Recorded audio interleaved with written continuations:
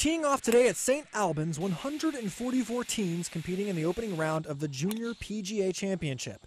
But one golfer has been told to get a grip. People that don't even really play golf, they just said I should change it, but you know, I'm not gonna. because his current grip is, well, unconventional to say the least. The 17 year old swings cross handed. It's a right handed swing, but with a left handed grip, his left hand crossing over his right. He swings a baseball bat left handed, but he grips the golf club the same way. Left hand low on the club and no interlocking or anything, just baseball grip, 10 fingered, and just my thumbs are up on the club. It's fairly common for golfers to hold a club cross handed while putting, but never while swinging. When they see me do it and they want to try, they usually don't hit the ball pretty well or, or even hit the ball at all. So many golf pros have never seen anything like it. In 30 years of uh, teaching golf and playing golf, I've never played with anybody who was cross-handed from a full swing standpoint. But it all comes natural to Welch, who's been using the grip since he picked up the club as a toddler.